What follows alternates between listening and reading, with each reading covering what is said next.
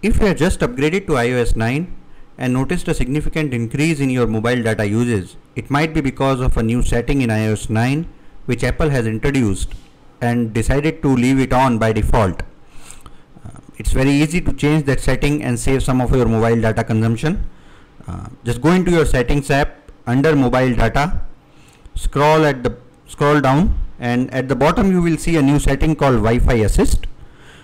What this setting does is it allows you to automatically use mobile data when Wi-Fi connectivity is poor. So if you are in a corner of your house where the Wi-Fi connectivity is not that good and watching some videos, it might actually start downloading that video on your mobile data rather than on Wi-Fi.